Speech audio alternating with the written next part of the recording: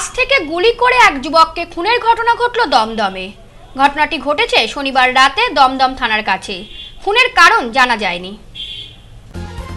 ভর সন্ধ্যায় যুবককে গুলি করে খুনের ঘটনা ঘটল দমদমে। মৃত যুবকের নাম গণেশ কুণ্ডু।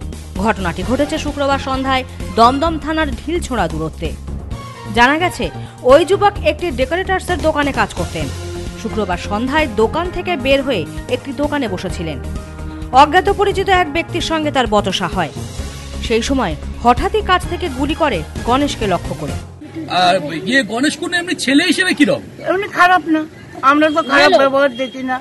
ওর কাছে তো অনেক লোকজন আসে দোকান থেকে আসে সবাই সাথে তো ভালো ব্যবহার করে।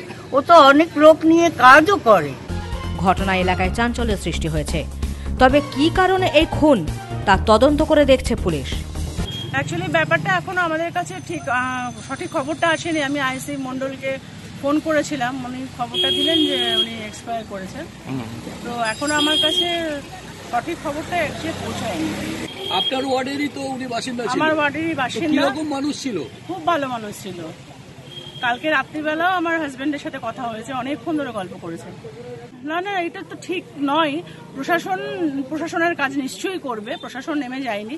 কিন্তু ঝোপঝাড়ে থেকে লুকিয়ে শীতের বেলা বা শীতের রাতে যদি কেউ বন্দুকটা লুকিয়ে এনে কেউ মেরে দেয়, প্রশাসন কি করে বুঝে? প্রশাসন নিশ্চয়ই তাকে ধরবে।